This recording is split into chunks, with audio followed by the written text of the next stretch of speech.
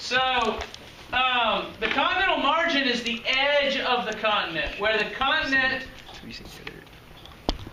communicates with the ocean. Remember, the ocean floor is made of basalt. The continental crust is made of what? Ten points if you can tell me what the continental crust is made of. Amy, Oh my gosh, I had to think. what's that made of? Ten points. The ocean floor is made of basalt. What's the continental crust made Raina. of? Oh, Pink got it right. Would you like to say the uh, camera? Green got it right. If you watch the old videos, Purple got it right. Those are so. White got it right. What? Peach got it right. And orange got it right. Granite. So granite is lighter than basalt, so granite sticks up higher. So you don't have it where you just real high up on granite and then it falls straight down to the basalt. There is a transition zone. Okay? And you need to learn these parts. So you have the continental shelf. That's kind of the edge of the continent where it very gradually starts going down. Well, it depends where you are. Where we are, the continental shelf is very wide, and it's a gradual slope going from where we are on the beach out to the edge of the continental shelf. Any deep sea fishermen in here? Sometimes. You ever go down to the, out to the Gulf Stream? About how far is that? Isn't that like 50 miles? 50, 60, 70 60 miles. miles. That's that's all continental shelf you're over. So if you want the little fish, that's where they are. But the big fish are real deep, see? And uh, you need to go out past that. And, and where we are, it's a long way to the uh, edge of the continental shelf. Where we are, the continental shelf is real wide. But in a place like Miami or the coast of California, the uh, the continental shelf is not very wide. There's not much room there. So you, sometimes you don't have to go that far Sorry. until you get to the continental slope. Now, the continental slope, it's it's a lot steeper there, and that's where the granite starts falling off, and uh, you make this transition to the basalt, and um, sediment will go rolling down and um, form what we call the continental rise, which is uh, is less steep than the continental slope. So um, this is the steepest part, and then you get a little less steep, and then you reach the this part right here at the bottom of the ocean is called the abyssal plain. And um, so shelf, slope, rise. So that the slope is the steepest, rise, and then abyssal plain. And the abyssal plain, like it said in the video, if you watch that Drain the Oceans video, the abyssal plain is the largest area that we have on our planet. It, most of the ocean, it's real vast, big, long. It's pretty flat unless you get some sort of uh, uh, volcanic activity that rises up islands and such. The abyssal plains are these long, flat stretches of, of the bottom of the ocean.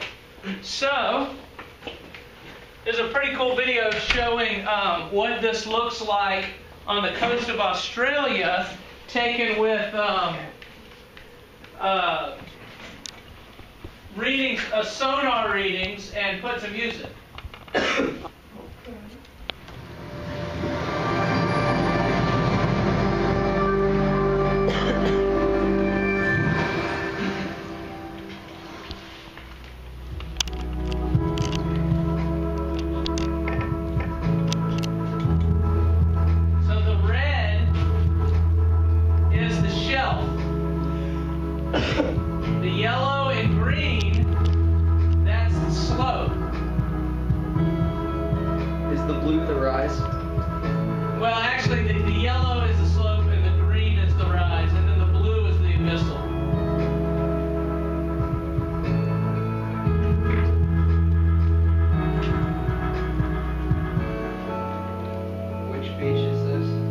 Is This is the coast of Australia. I think it's the western coast of Australia.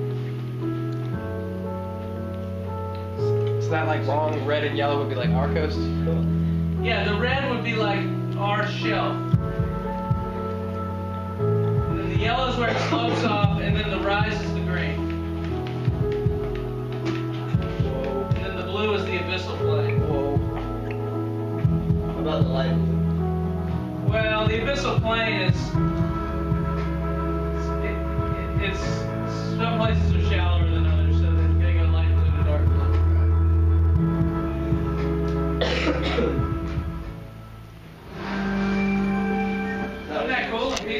I like How'd you that. feel about that video, Charlie?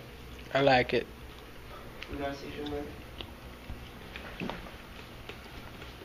That was a cool, peaceful video.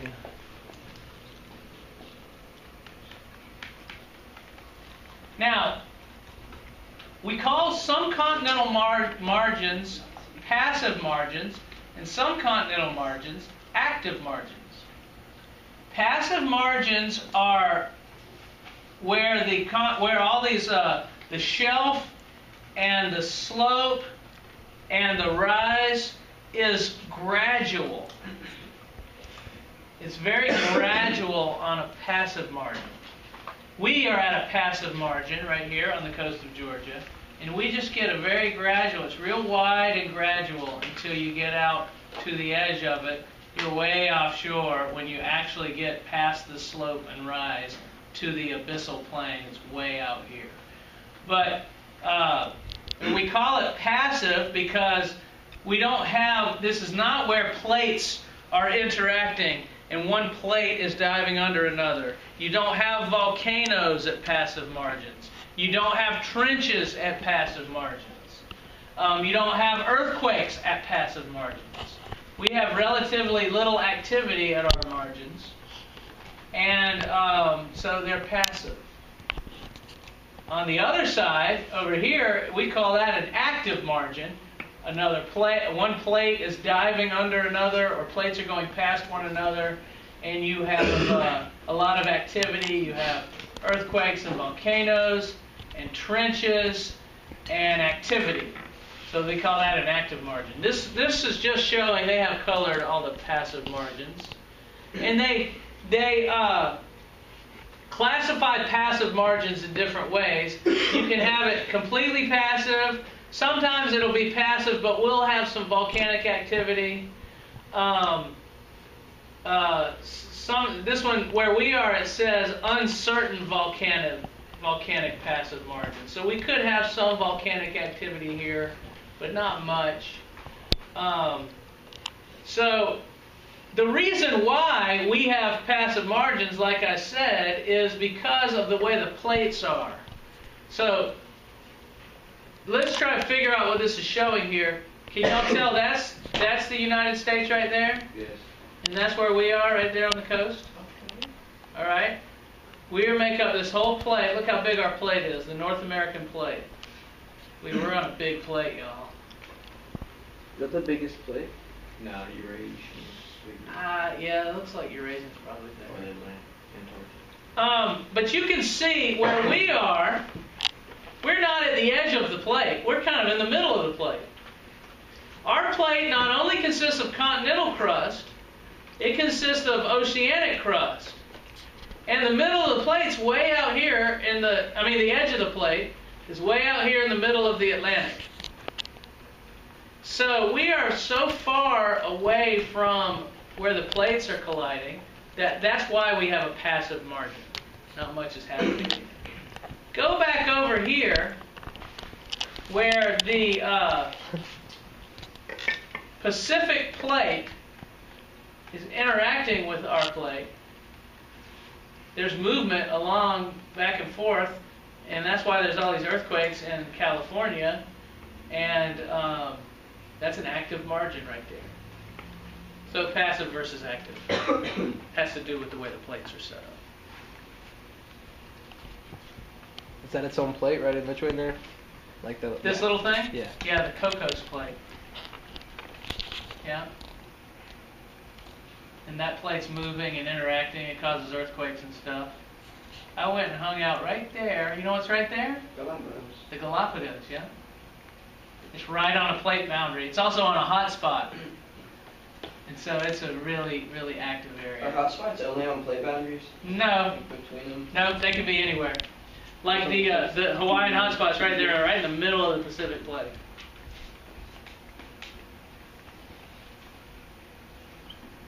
So it's kind of good to look at this and get an idea of what's going on.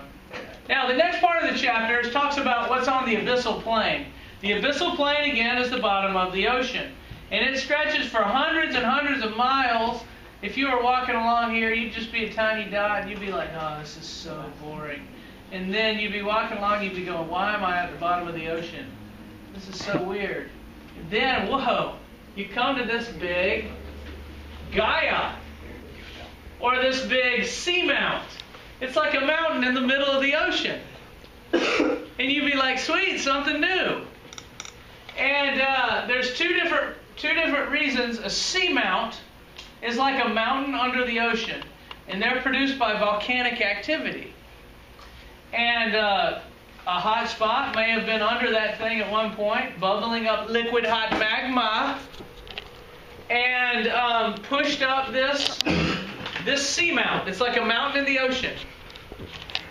And the thing is, the, it's called a seamount if it never goes above the, the water line. If it goes above the water line, you know what we call it? Island. An island. But if it stays below the water line, we call it a seamount. That's the only difference. It's an island that never made it above the water. Pretty cool, huh? Will all seamounts eventually make it above? No, not necessarily, because they could be over a hot spot, and the hot spot could be shooting up magma and create this seamount, and then the hot spot can go dead, and, and the seamount only gets so big. See what I'm saying? Yeah. So, um,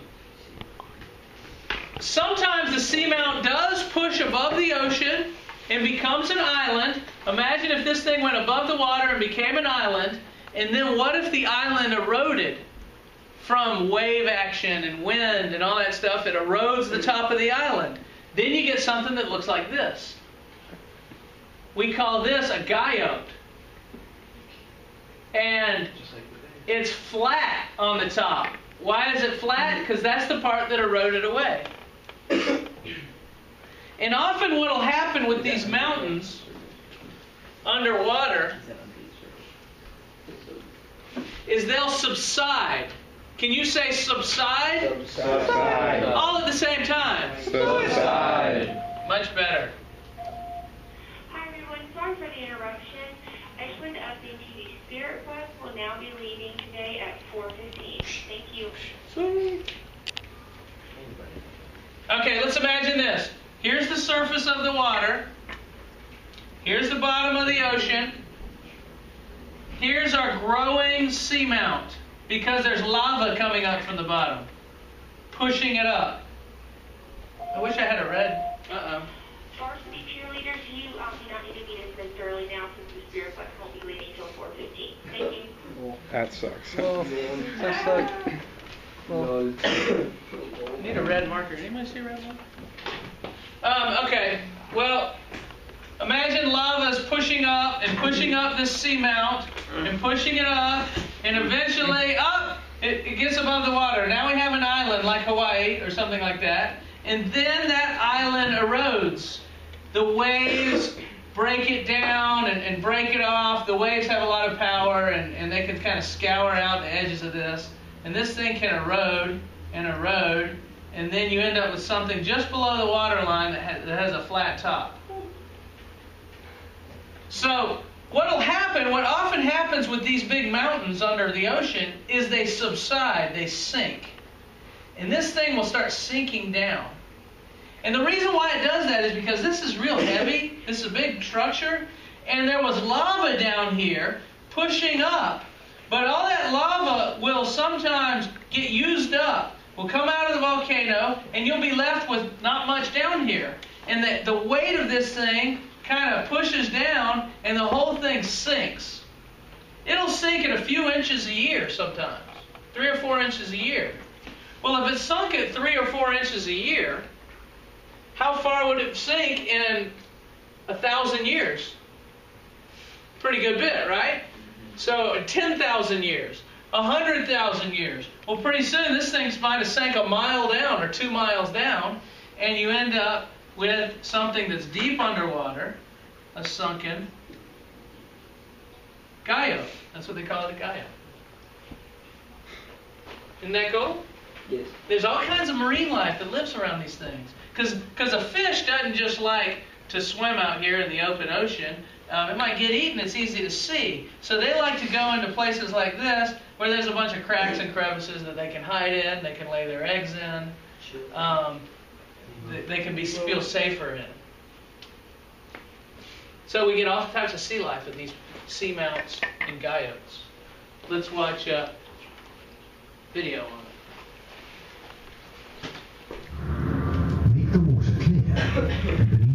Surface are seamounts, isolated mountains rising from the ocean floor. The waters above seamounts are alive with ocean predators, and by lighting the ocean depths, we can see why. Seamounts disrupt the smooth flow of the currents.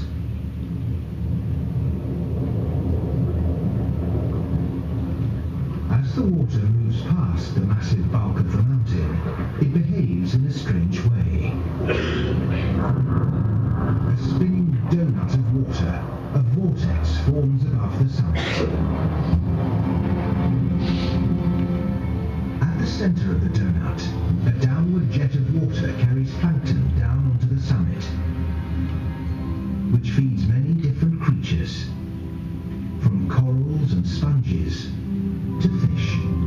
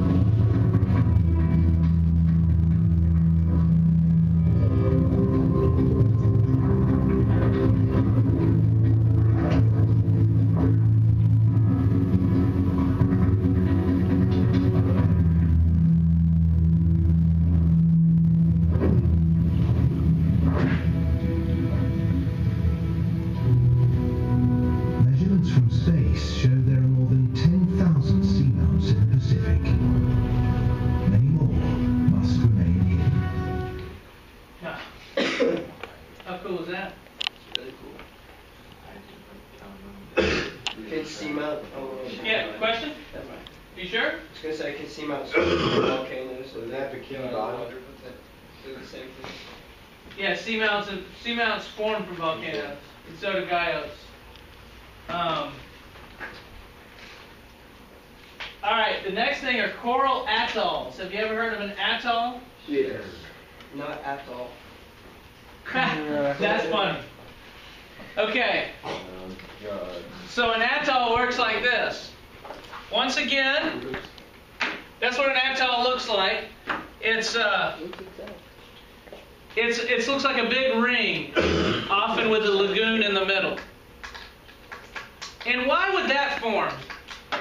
Coral. Well, There used to be a mountain and the water came in the middle. The donut, the donut. you're all over it. So let's go back to this. Let's say we have this seamount that pit, that breaks the water and goes up here. What it looks like. Listen.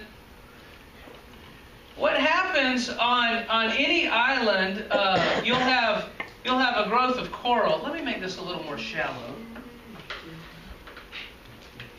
Let me make the water a little shallower, and let me make this a little this mountain a little more like that. There we go. Yeah. there you go. Now, whenever you have an island like this, you'll get coral growth.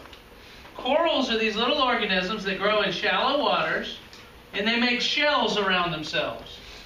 And they'll just grow right out the edge, and they can't grow too deep because they can't live where they can only live where light penetrates. Because they got little algae living with them, and the algae do photosynthesis and help feed the corals. It's like a symbiotic relationship. We're going to do a lot more on coral later. Coral is, is big in marine biology. So anyway, these corals are just living here like this. And what will happen is that in some cases, the entire island will subside. What's subside mean? Go down. Sink. The whole what if the whole island starts to sink? Well, these corals, what they'll do is they'll just keep growing upward as the island sinks. And so, what you end up getting, let me go to the next picture here. Here you have your volcanic island stuck above water. And uh oh, now it starts to sink. And the white that you see around the edge, that's the coral. The coral is thriving on the edge. Well, as the mountain's sinking, the coral keeps growing upward because the coral can can grow at a certain rate. The coral can grow an inch or two taller a year. And so if the if the mountain is sinking at an inch or two a year and the coral is growing at an inch or two a year, you know, what you'll get is a is a wider and wider area of coral. Continue this on, mountain sinks, coral grows, and the mountain eventually sinks down, and you got a bunch of coral on the edges and not much in the center because it's been growing like crazy on the edges the whole time, not in the middle where it was land before. And so you'll get this ring of coral the on the outside and just kind of a lagoon in the middle. Lagoon underwater. A lagoon is just a bunch of water. Yeah. I mean, oh, that's above water. yeah, yeah. This is yeah, this is the surface of the water. Yeah, no.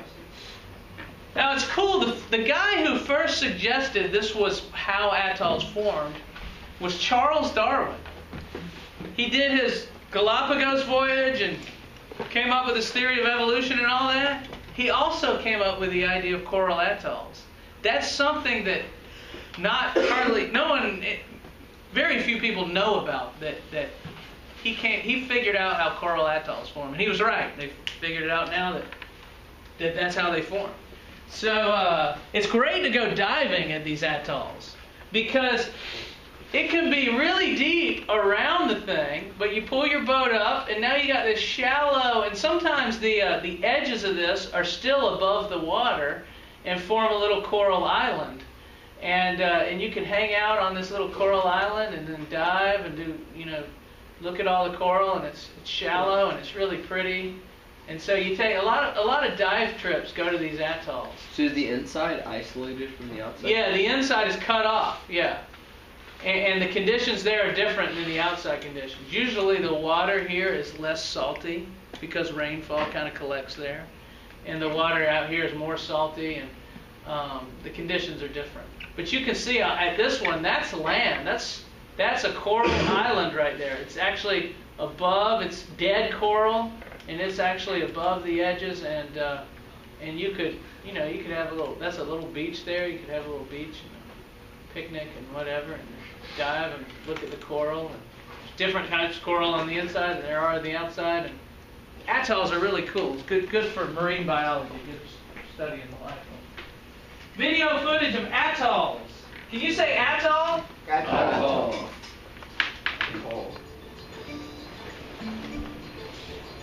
Across the world, from Australia to the shores of Belize, coral reefs come in different shapes and sizes. One type of reef, most often found in the Pacific Ocean, tells a fascinating story about evolution and geologic time. It's called an atoll. When we say time, we mean big time. It can take up to 30 million years to create an atoll. Here's how it happens. An atoll begins with an underwater volcano called a seamount. As it erupts, it spills lava, which hardens as it meets the water. Over time, in many eruptions, the seamount grows until it rises above the water. Now, it's officially an island. As the centuries tick by, the volcano goes dormant. Underwater, the hardened lava becomes a home for all sorts of creatures, including corals.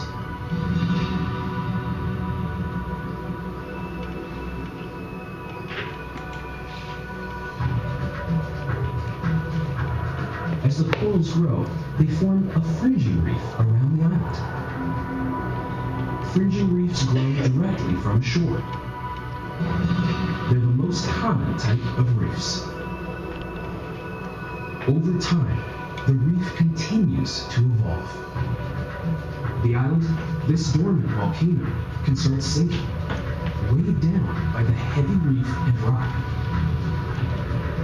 As the island sinks, the corals remain, growing upwards.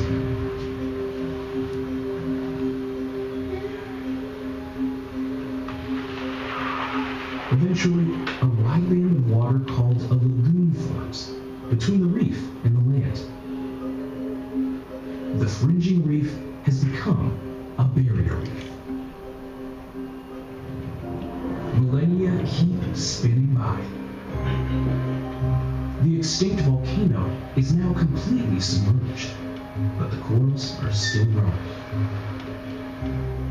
As they break the surface of the water, they die, and their stony skeletons turn into sand and rubble mixed with coral and algae. Now, a coral rim surrounds a central lagoon. The reef has changed yet again into an atoll. When there are gaps in the coral rim, the surrounding ocean flows in and out of the lagoon.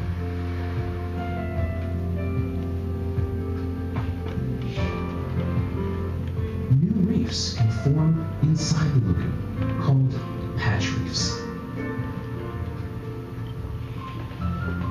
In the warm, shallow lagoon waters of atolls, coral reefs flourish. And so do the many kinds of animals who make them their home.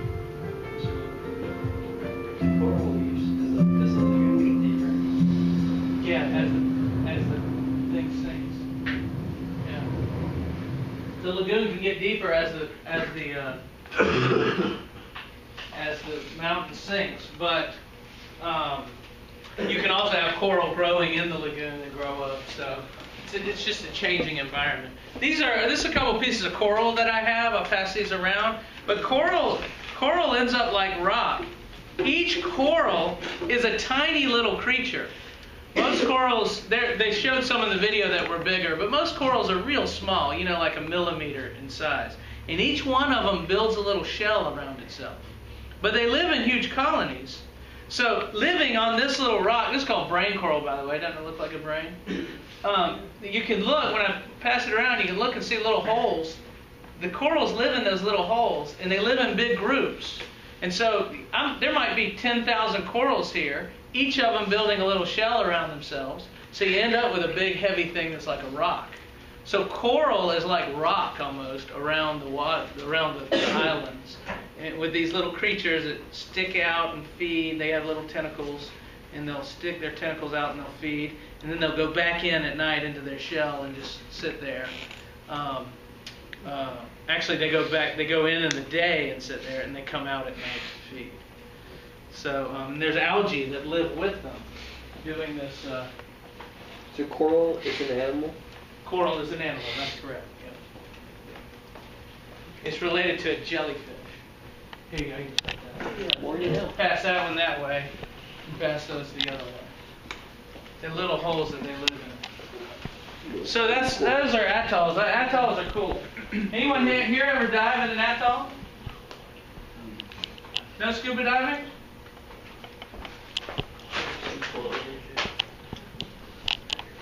I've done some snorkeling in an atoll, but I've never. I, I don't. I don't have a diving license. Don't draw that. Where did you acquire this coral? That was here when I got here, They get from the black 25 market. years ago. Isn't coral illegal to like buy? Yeah, you're not supposed to like take it because the reefs are all gradually disappearing, uh, so they don't want people to take it. But if a piece washed up on shore somewhere, you could probably take it. I don't know. The next thing, uh, the last thing I want to talk about today is a um, a uh, uh, these black smokers, these um, little chimneys at the bottom of the ocean uh, that have water that comes up out of them, and um, they're located. Uh, these these black smokers are located all along the um, middle of the ocean. see if I have a map here. Right along where these where the at the center of the Atlantic here, the plates are all separating and going in opposite directions. And if you look along the bottom of the ocean there, you have these black smokers, which look like that little thing there. This this is a there's too much information on this. We're not interested in everything that's on there. But we're interested Got a lot in these little words. these little chimney-like structures.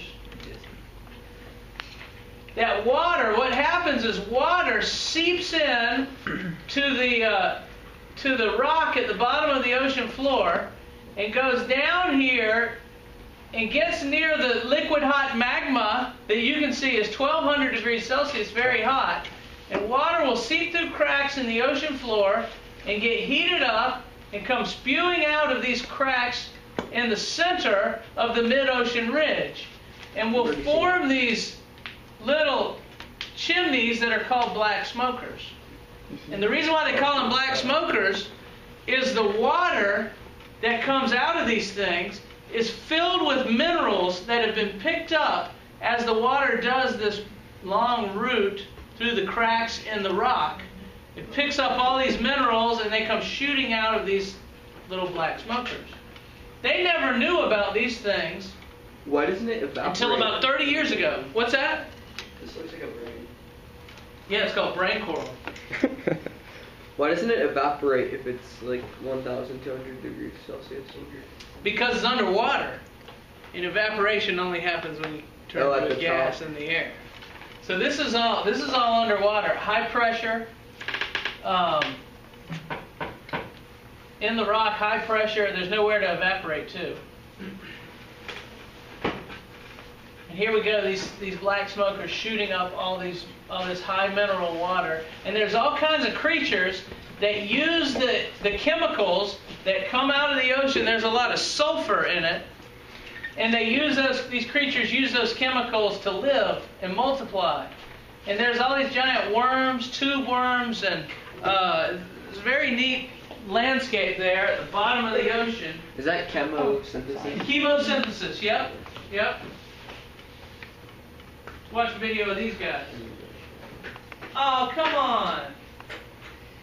They're called hydrothermal vents.